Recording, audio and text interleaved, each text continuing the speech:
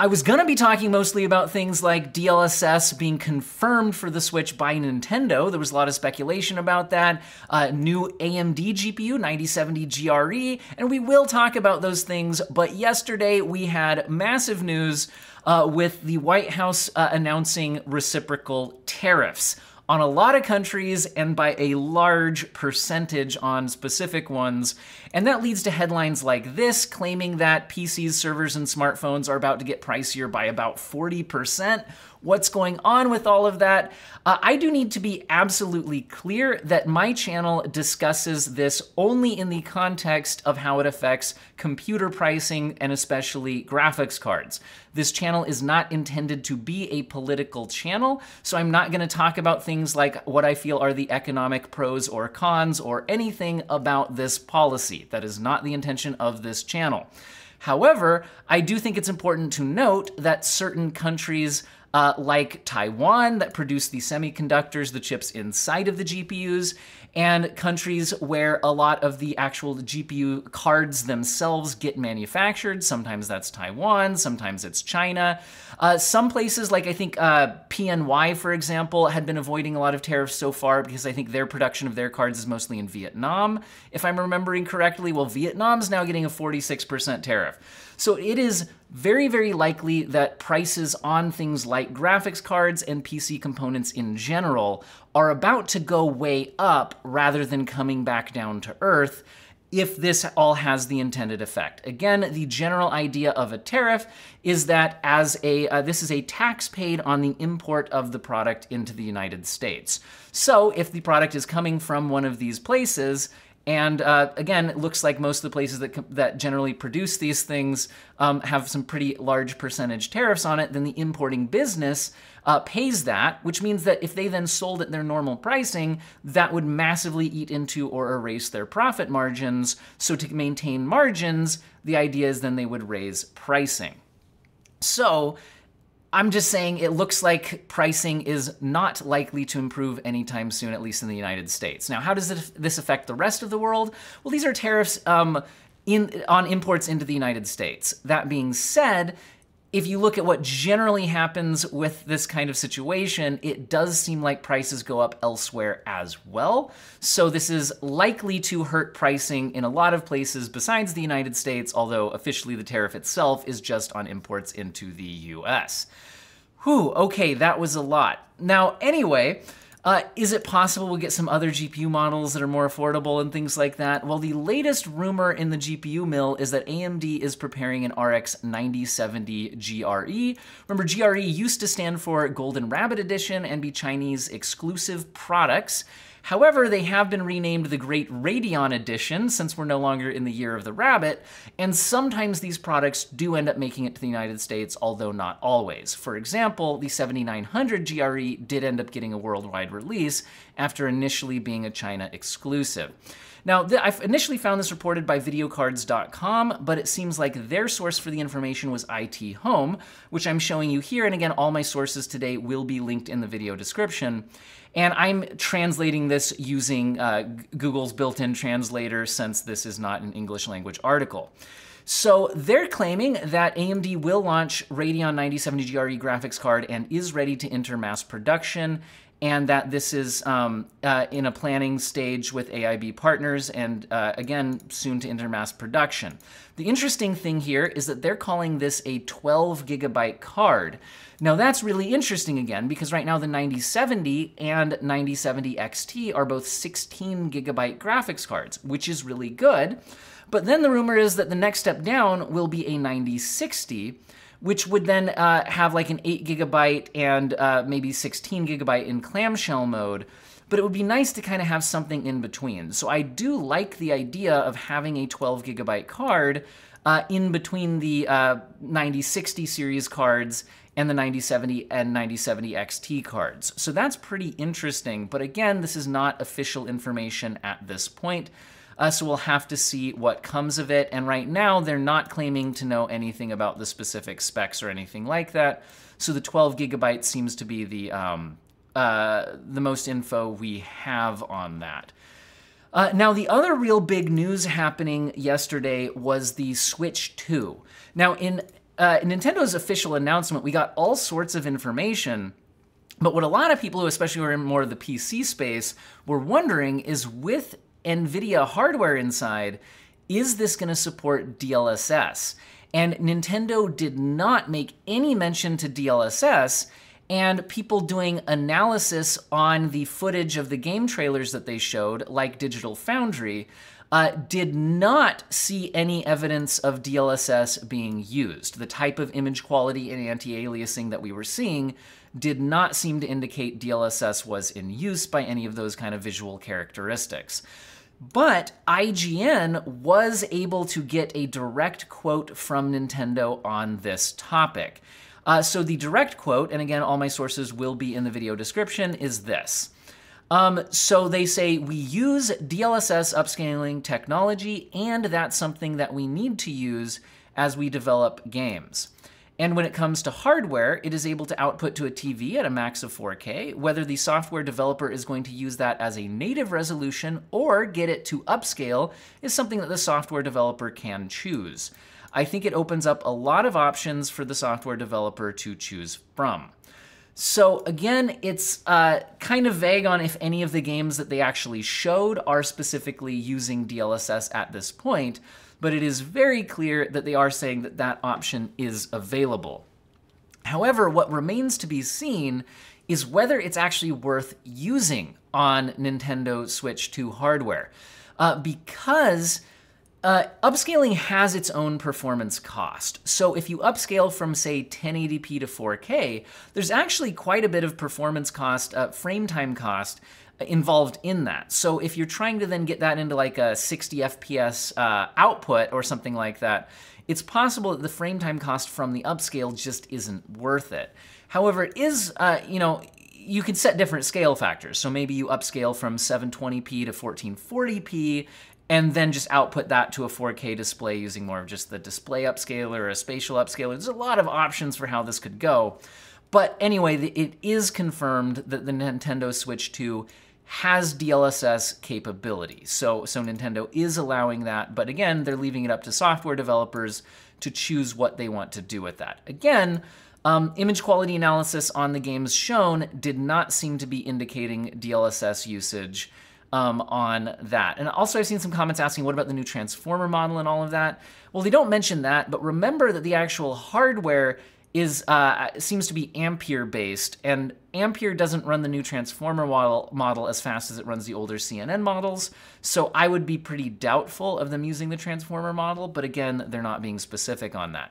Now that being said, it does seem to be the case that some games might actually run at a native 4K 60 on the Switch 2, but this is likely going to be games that were designed around the Switch 1 and then are able to boost the performance uh, and or resolution by running on the more powerful hardware. We're seeing games like Metroid Prime 4 um, claiming 4K 60 FPS with HDR, and in handheld mode running at 1080p 60 with HDR, but also offering a performance mode of 1080p 120 FPS in HDR or in handheld mode 720p 120 FPS at HDR. So that all sounds pretty cool. Uh, the general hardware specs uh, that are most important is they did just say it's an NVIDIA processor. They didn't confirm all of the leaked details on that, but it does seem to be the case that all of the leaked details seem to be accurate. But the display was confirmed to be a 120 Hz 1080p display, and I believe I saw confirmation of variable refresh rate support, which is really nice. Because honestly, uh, for handhelds, I use the Steam Deck a lot, and my main gripe about it is the lack of uh, a variable refresh rate support. So I think that's pretty cool. And again, even though it's not an OLED screen, it does have an HDR mode. Now, for me personally, deciding whether to buy the launch version, that's my main holdup is I'm like, oh man, if I wait, there's probably gonna be an OLED update and I'd rather have that. At the same time though, all signs point to the uh, LCD display being significantly better than the original LCD display on the original Switch. Because I got the original Switch, and I've got to say, the built-in display is very poor quality. Um, the, the colors don't look great, it, it's not good. Um, whereas a decent LCD with HDR support, 120 hertz, variable refresh rate, uh, that could end up looking pretty good. Again, it can output up to 4K 60. However, it does not necessarily mean games will usually be running at that resolution. Like I said, I think maybe Switch 1 games might be able to run like that, but um, games developed specifically for the Switch 2, you know, some of them might target that. That's their choice, but we'll have to see. 256 gigabyte storage with a micro SD Express expansion. So uh, the slower micro SD cards uh, that were compatible with the original Switch, I don't think are compatible here, at least not for installing games and things like that. Uh, it looks like it has Wi-Fi 6, dual USB Type-C, game card, and micro SD express slot a uh, 5220 um, milli, uh, milliamp hour, uh, uh right? Mil is that, is that, is that right? Oh, whatever. Anyway, uh, battery release date uh, June 5th, 2025, and the price is 449. Additionally, talking about pricing, um, there's been some discussion of game pricing that came out of this because they are announcing that Mario Kart World is going to have an $80 price tag. Now, that's led to a lot of things like this, which is talking about um, is it fair for game prices to go up due to inflation? And I have a lot of thoughts about this. So I found this posted on Reddit uh, showing inflation adjusted Mario Kart pricing over the years, and actually showing that if you account for inflation, the pricing does seem to make sense. But the question is, is it fair to adjust game pricing with inflation. Now, um, I think one reason why game pricing generally hasn't gone up with inflation is if your install base is growing, if you can sell more copies, then you don't necessarily need to raise prices on games to increase or maintain profits on games, right? Because if you sell more copies, uh, then then you don't necessarily have to make more money on each copy to have growth, right?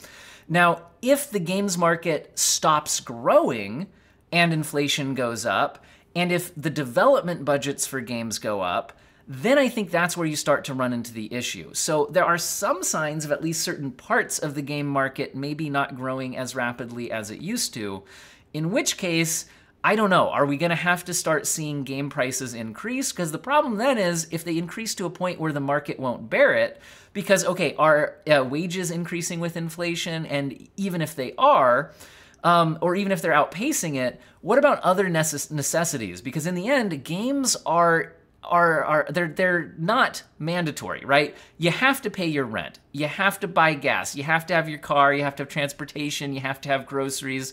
There's a lot of things that the prices have gone up on. And if that's reducing your spending money left over after all of that's gone, then certain entertainment items like games you might just not be able to buy as many of them if their prices go up. So I think this is something where the entertainment industry, the gaming industry, is going to really have to figure out what the market will actually bear. Um, now, uh, places like EG, uh, like IGN are having articles like, well, the Nintendo Switch 2, Mario Kart World, and everything around them is so expensive because they feel like they can. So in other words, like if you look at what it would take to buy like some extra Joy-Cons, maybe a charging thing, get your $80 game, um, another more, you know, this is looking like it could be pretty expensive, right? But the argument here is essentially, well, if the market will bear it, then um, why not charge more? and again, it is true that there has been crazy levels of inflation and all of that, but hey, there you go. Now, the last interesting bit of news I'm going to leave you guys with today is that it looks like AMD has captured nearly 80% of at least Amazon's US stats. So, again, that is very different than, uh, you know, there's saying the market here, but there's a lot of market that isn't the Amazon sales US stats. But that is pretty indicative, at least, of people buying these on the open market. I think this would look very different if you're looking at, uh, you know, pre-built systems or uh, all sorts of other things, other retailers, whatever.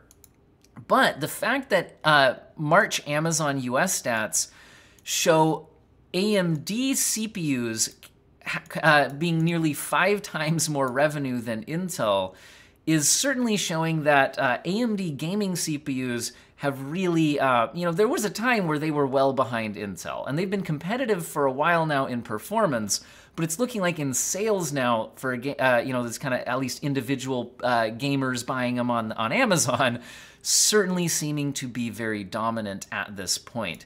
Now, whether or not AMD's GPUs can start to then compete with NVIDIA the same way that they did with Intel, well, that's a whole different question. I think in general, one of the hard things in the GPU space is there's so much more of a software and features side of things where AMD is trying to catch up. We're seeing things like FSR4 and all of that. Whereas in the CPU space, it's a lot more just like performance per dollar. There's much less of a features side of things, right? So if you if the performance is there, you've got it. Whereas uh, again, in the GPU side of things, um, uh, NVIDIA, for many generations, didn't really slow down on performance jumps either, but this latest 50 series slowed down a bit on performance jumps, which is kind of what happened with Intel. They, they sort of stagnated for quite a while. But NVIDIA has continued to push the software features and proprietary stuff and all of that. And so far, it looks like that has worked as far as locking in sales and things like that. But what's going to happen with this 50 series, the 90 series, what goes on in the future? It'll be really interesting to see um, you know how people end up reacting to the market, and also again. Uh, how pricing ends up after this tariff situation because I'm honestly a little bit scared to think about what my future, you know, best GPU to buy monthly guides are going to look like because um, I don't know. We'll have to see how all of this settles in. Let me know what you think about all of this in the comment section. Hope you guys found the video useful and or interesting. All the sources will be linked in the video description. Huge thank you to viewers, subscribers, commenters, uh, and channel members who click the join button to directly support me financially. Huge thank you, and I hope all of you have an excellent day.